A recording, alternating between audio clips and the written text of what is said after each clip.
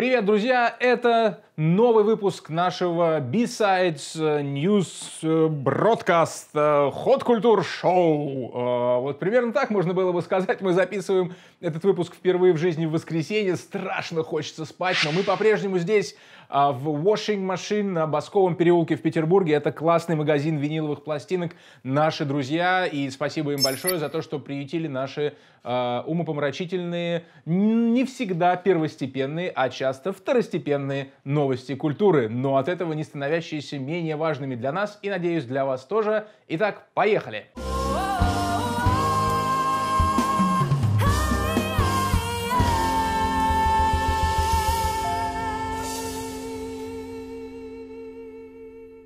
Да, должен начать с того, что у нас сегодня будет розыгрыш небольшой, э, но про это подробнее я вам расскажу ближе к концу выпуска. А пока супер классных новостей. В комментах к прошлой серии вы просили меня поделиться с вами этой информацией. Наши друзья, лейбл Rainy Days, с которым мы выпускаем шикарный совершенно плейлист э, ход культур в городе, джазовые музыканты. Посмотрите, эти выпуски, они есть у нас в канале, и мы каждую неделю их обновляем. У нас еще пара релизов впереди. Так вот, они, э, Rainy Days, э, попали в финал, ну то есть в номинацию премии Грэмми, э, их альбом, который они выпустили для Рэйчел Экрот, это американская исполнительница, в сентябре они выпустили для нее альбом, и вот Рэйчел оказалась Best Contemporary Instrumental Album в номинации. То есть это лучший современный альбом инструментальный музыки. И это супер достижение. Ну, во-первых, мы поздравляем Рэйчел. Во-вторых, мы поздравляем музыкантов, которые принимали участие в записи. А среди них есть те, которые записывали последнюю пластинку Дэвида Боуи. А, мы Андрей, Андрея Красильникова поздравляем отдельно. И как раз выпуски с ним вы можете посмотреть на нашем канале, где он играет в своем джазовом составе и в качестве приглашенного музыканта в разных коллективах. Поздравляем мы и лейбл Rainy Days. Почему это круто? Потому что это маленький, ну, по-настоящему маленький лейбл э, независимый из Петербурга. Женя Петрушанского вы видели на фотках здесь. Э, Женя организатор этого лейбла, один из его основателей. И э, в истории Грэмми есть несколько россиян, которые получили эту премию. И в основном это класси- музыканты, связанные с классической музыкой. Есть несколько случаев, когда были номинированы россияне на премию, и в основном это классическая музыка или все, что с ней связано. Но, насколько я помню, никогда, послушайте, никогда ни один российский лейбл не попадал в финал премии Грэмми. Получит Рейни Дейс э, и Рэйчел Экрот, получит ли она э, свою пластинку, свою, свой граммофон или нет, уже не так важно, мне кажется. Хотя, конечно, хотелось бы, чтобы получили. Важно, что Рейни Дейс супер молодцы, мы их поздравляем, и представить, э, даже поверить в это сложновато. Просто ребята вот здесь вот ходят, и они, представляете, записали такую пластинку, которая поехала на Грэмми. Класс. Окей. Ну что, давайте продолжим. А, здесь у нас тоже новости из-за рубежа. Я, кстати, не сказал, когда будет церемония вручения Грэмми, но она обычно в, там, в конце января происходит. А, суд обязал Кевина Спейси заплатить 31 миллион долларов продюсерам сериала «Карточный домик» из-за скандала с сексуальными домогательствами, которые произошли в 2017 году, а, поскольку пришлось компании отменить выход сериала уже запланированный, и повлекло это за собой огромные издержки. Вот теперь суд постановил, что Кевин Спейси нарушил условия контракта, когда пренебрег политикой компании в отношении сексуальных домогательств. Это просто фантастическая история. Значит, вы помните, Кевин Спейси был первый, кого обвинили, вот тогда, в 2017 году, ну, по крайней мере, первое громкое публичное обвинение. Действительно отменили карточный домик, реально зарубили карьеру Кевину Спейси, и он вернулся обратно лишь в 2019 году, когда все обвинения были сняты, потому что оказалось, что ничего не доказано. То есть реально, ну, суд признал, что Кевин Спейси вроде ни при чем. Ну, наверное, что-то было, а может быть, чего-то не было. Мы не знаем, доказать не можем. Но, парень, извини, два года ты, значит, ничего, э, ты не работал, тебя отовсюду уволили. И э, теперь ты еще и должен заплатить 31 миллион долларов просто потому, что так случилось. Вот такая история. Пожелаем Кевину Спейси удачи. Актер он, безусловно, очень талантливый. Вот так я вам скажу. Помните, я вам рассказывал некоторое время назад про Шотландию балет «Щелкунчик». Э, там были проблемы с расизмом э, и в образах некоторых персонажей. Теперь государственный балет Берлина временно приостановил показы «Щелкунчика» из-за неполиткорректных эпизодов, блэкфейсинга и стереотипного изображения персонажей в китайском танце в духе колониальной оптики – то же самое, цитирую я новость, относится и к восточному танцу с гаремными наложницами и солистом, тело которого покрыто темным гримом. Эти вещи, которые теперь нельзя выпускать на сцену без объяснений, пояснила исполняющая обязанности художественного руководителя балетной труппы Кристина Теобальд. Вот такая история. И Ковен Гарден тоже э, напрягается по поводу Щелкунчика, приостановил показы, потому что понимает, что нужно как-то балет Щелкунчик теперь корректировать. Я уж не знаю, э, понимают ли шотландцы и шотландские балетоманы, что они просто тренд какой-то начали, связанный э, с Щелкунчиком по миру, теперь пойдет одно за другим. Вот эта волна отмены Щелкунчика. В прошлый раз мы писали «отменить Джоан Роулинг», теперь нужно, видимо, написать «отменить Щелкунчик», «заменить все», «хватит эти танцы неполиткорректные, что вы себе позволяете, боже мой!» А там же еще мужчины, они же в лосинах, это же отвратительно. Ну или наоборот, это хорошо, женщины в пачках, это ужасно.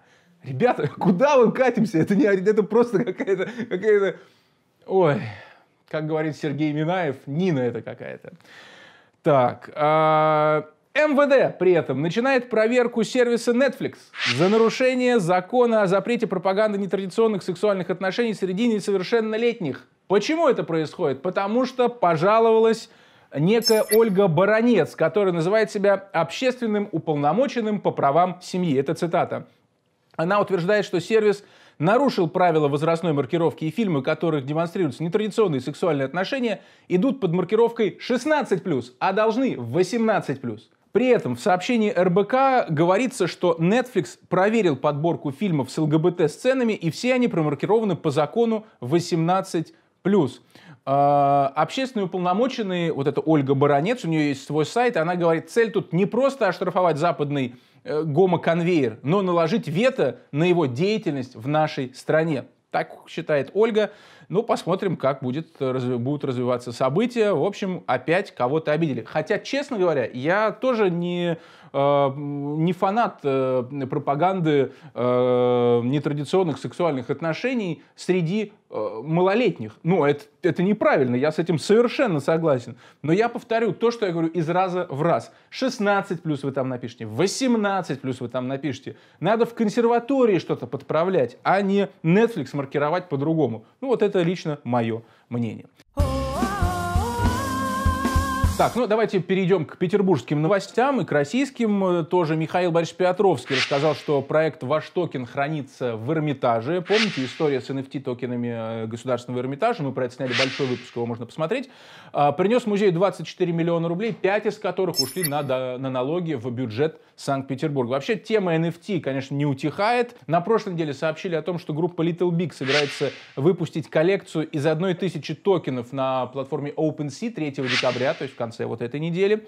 А, работы создаются совместно с медиа-художником Денисом Давыдовым и агентством Peppermint который специализируется на продюсировании NFT-токенов. Но Little Big — это ребята как бы современные, но есть и настоящие мастера жанра, которые тоже идут в цифровое искусство. Сергей Жуков, группа Руки вверх! А, выпускает токены в честь 25-летия группы. Жуков токенизирует права на неизданный трек группы, а также сертификат, навсегда запрещающий ему исполнять песню «Студент». Сертификат обойдется покупателю в 20 миллионов рублей. То есть вот если вы хотите, чтобы никогда Сергей Жуков больше не пел песню «Студент», 20 миллионов стартовая цена, и он никогда больше не будет петь эту песню. А представляете, там же ведь много разных э, треков классных. Там «Ну где же?» Вот это «Ручки», потому что есть Алешка у тебя и так далее. Откуда я все это знаю? Это вообще немножко, я, это, конечно, палево то, что я сейчас делаю.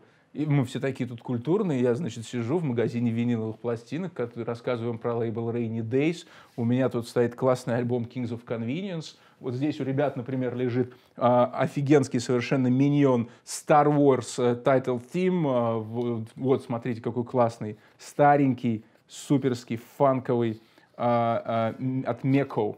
А, очень классно. И я тут цитирую по памяти, причем песни группы «Руки вверх».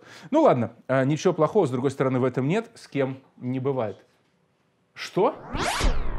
Little Big, как я только что выяснил, тоже есть здесь э, на виниле. Где-то там, да? Басков 23. Если вы хотите получить винил Little Big, заходите, можно его купить здесь, в Washing Machine. Вот это интеграха. Так, а, что еще? Союз мультфильм выпустил трейлер ремейка советского мультфильма «Ну, погоди». И премьера состоится в онлайн-кинотеатре ОККО в декабре. Обновленный мультфильм не рисованный, сделанный с помощью компьютерной графики. А, концептуальные изменения Волка озвучивает не Анатолий Папанов, понятно, а Гарик Харламов. Он больше не курит, не употребляет алкоголь и играет в видеоигры. Кроме того, там больше персонажей будет. Э, трейлер на YouTube уже собрал несколько десятков тысяч дизлайков, а комментарии к нему просто отключили. Но то же самое было с ремейком «Простоквашино» в 2018 году. Тогда тоже все встретили ремейк прохладно. Я только не могу понять, э, YouTube же отключил дизлайки. Как можно было собрать несколько тысяч дизлайков, если они отключены? То есть создатели трейлера, это только в админке видно, то есть создатели трейлера зашли в админку и такие, Оба-на! У нас дизлайки, давайте сделаем пресс-релиз. Так, э, в выставка «Союз мультплакат», приуроченная к 85-летию «Союз мультфильмов», все в кабеле открылась здесь, в Санкт-Петербурге. Э, посвящена она истории развития киностудии с 1936 года до наших дней. Рассказывает э, вообще, как развивалась отечественная анимация. Можно будет увидеть фрагменты мультфильмов в студии, также киноплакаты до 12 декабря. Успейте заглянуть. Ох, классная новость, про которую тоже хочу вам обязательно рассказать. На прошлой неделе Олег Нестеров представил свой новый проект. Он называется «Три степени свободы. Музыка, кино, СССР». Он посвящен э, киномузыке, Шнитке, Шестакович, Прокофьев, Вайнберг, Гео и София Губайдулина. Большая часть этой музыки никогда не издавалась. Оригинальные звуковые дорожки э, были найдены в архивах и на киностудиях. Этот проект Э, включает в себя книгу, которая вышла в порядке слов, в издательстве «Порядок слов», музыкальный сборник, который уже есть на стримингах, а в 2022 году будет на виниле. Он, надеюсь, что здесь он тоже появится в Washing Machine. Совместный проект с киностудией «Ленфильм» делает Олег Нестеров, и 21, 22, 23 декабря в первом павильоне Ленфильма нас ждет концерт по первой части этого проекта. Э, будет звучать музыка Альфреда Шнитке. Э, Олег нам рассказывал про эту историю, про то, что он работает над проектом вместе с э, Антоном Яхонтовым. Кстати говоря, Антон Яхонтов саунд-дизайнер и композитор, который работает на новой сцене Александринского театра в том числе и делает фестиваль Акузмониум, использует этот знаменитый инструмент Акузмониум. Я предполагаю, что Акузмониум будет звучать и э, вот 21, 22, 23 декабря на Ленфильме. Запишите даты 21, 22, 23 и, конечно, все ссылки мы традиционно даем на проект в описании. В Российском этнографическом музее открылась выставка «Трансформация сырое приготовленное», которая базируется на опыте первой коми-биеннале современного искусства. Э, художники создали арт-объекты, на основе впечатлений от северной природы до 17 января можно будет выставку посетить. Еще одна история. Путешествие во времени «Старые мастера» в музее-усадьбе Державина со 2 декабря покажут 46 произведений живописи и графики старых мастеров. Э, Рембрандт, Дюрер, Питер Дехок, Франческо Марандини, э, «Итальянское возрождение». Обратите на это внимание. До 31 мая. Время есть. Вот еще о чем вам хотел рассказать. На канале Арте Концерт, я как-то про него уже рассказывал, вышел концерт Стинга в Пантеоне в Париже. Ну, то есть это церковь Святой Женевьевы, как вы помните. Та самая, в которой летает маятник Фуко. А, Стинг выступает э, там вместе со своими музыкантами в честь 50-летия французской радиостанции FIP – я не знаю, никогда не, слушал французскую радиостанцию FIP, но, видимо, крутая станция, раз в честь нее играет Стинг. Посмотрите на этот концерт. Очень красивый, хиты, недолгие, мне кажется, полчаса. И э, отдельно завораживает пролетающий за Стингом маятник Фуко. Вот так. То есть я когда у Умберто Эко про это читал, я никогда не был в, в Пантеоне, но когда я читал у Умберто Эко про это, я не думал, что это так выглядит. Вот теперь знаю. А, кроме того, сериал, который хотел бы я вам посоветовать, если вы пропустили, это «Politician» или «Политик». Первый сезон э, вы помните, э, дело происходит, если вы не смотрели, а если смотрели, то знаете, в школе, где э, юный э, выпускник пытается стать президентом школы, Гвинет Пелтру играет его маму, и там э, высмеиваются в этом сериале э, взаимоотношения в такой школьной предвыборной кампании, как он пытается пойти по головам и стать победителем. Так сказать, во время предвыборной кампании все средства хороши. Второй сезон дело еще круче, потому что все происходит уже в Нью-Йорке, герои немножко повзрослели, и здесь высмеивается примерно все то, о чем мы говорили раньше, потому что все отношения, которые мы видим, э, связанные с э, помощью э, меньшинством, ЛГБТ-повесткой, отношение к коренному населению Соединенных Штатов Америки, то есть индейцам. Все это используется в предвыборной борьбе предельно цинично. Но посмотрите, местами прямо очень хорошо. Главную роль играет э, Бен Плат. Бен Плат, американский актер, э, который классно еще и поет, к тому же. И, например, э, для первого сезона он исполнял песню «Вена» Билли Джоэла. И, честно говоря, мне даже показалось, что лучше самого Билли Джоэла. А, еще одна история на этой неделе, вернее уже на прошлой неделе, Борису Борисовичу Гребенщикову исполнилось 68 лет. Мы поздравляем Бориса Борисовича. И э, я стал смотреть какой-нибудь концерт, найти вам, посоветовать Гребенщикова в сети в хорошем качестве. Понял, что никакого свежего концерта нету, а Первый канал вообще, представляете, в день юбилея Гребенщикова показывал запись 2013 года. Я, честно говоря, не могу в это поверить. Как так можно? Ну неужели нельзя было с 2013 года снять нормальный концерт БГ. Ребята, ну come on. Ну я не, не к первому конкретно, а вообще ко всем телевизионным каналам. Ну вы чего? Это же, это же Борис Борисович Гребенщиков. Ну как же так? Не понимаю вас, если честно. Самое свежее в приличном качестве, что я нашел, это аквариум-концерт среди картин 8 декабря 2020 года. Ссылку даем в описании. Гляньте. Ну или посмотрите клип э, Масала Доса Сергея Дебежева. Вот фрагменты его сейчас здесь крутятся. Или э, «Пошел вон Вавилон». Вы что, не видели этой работы? Это прям, мне кажется, супер история. Там появляются штурмовики. Как R2D2 разговаривают. И напоследок, в Александринском театре 3, 4 и 5 декабря на исторической сцене премьера спектакля в постановке Атилы Виднянского «Процесс по роману Франца Кавки». Очень мощная работа, Иван Трус в главной роли. А, и здесь я вас направляю на YouTube Александринки, потому что там мои коллеги сделали а, большое интервью с Атилой Виднянским в преддверии премьеры, где он рассказывает о происходящем. А также мы сняли встречу э, Атилы Виднянского и Ивана Труса перед премьерой. Посмотрите, пожалуйста, и приглашаем вас в Александринский театр. Кстати говоря, вы помните, я вам рассказывал про розыгрыш, и сейчас мы этот розыгрыш проведем. На той неделе я анонсировал концерт оркестра «Оптимистика» на новой сцене Александринки 19 декабря. Я лично, внимание, не пользуюсь служебным положением, хотя мог бы. Купил два билета на этот концерт и готов вам эти два билета подарить. Каким образом? Супер! Просто э, в комментариях к этому ролику напишите «Хочу пойти на оптимистику», ну или что-нибудь. Просто напишите, что вы хотите. Дальше мы методом случайных э, этих генераторов как-нибудь все прогенерируем. И в следующий раз я кому-нибудь два билета э, вручу. Если вы хотите 19 числа в Петербурге отправиться на концерт оркестра «Оптимистика». И традиционно про виниловую пластинку рассказываю вам. У меня здесь сегодня то, что максимально контрастирует с Э, Петербургом в эти э, декабрьско-ноябрьские дни. Это пластинка сладкоголосого дуэта из Норвегии. Он называется Kings of Convenience, Declaration of Dependence. Э, очень милые песни под гитару. Некоторые называют их современным вариантом Саймона и Гарфанкеля.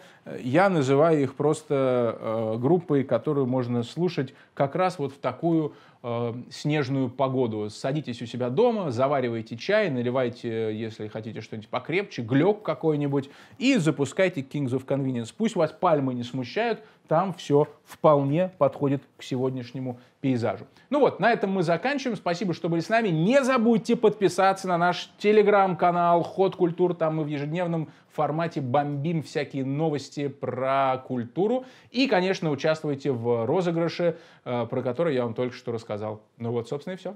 Пока.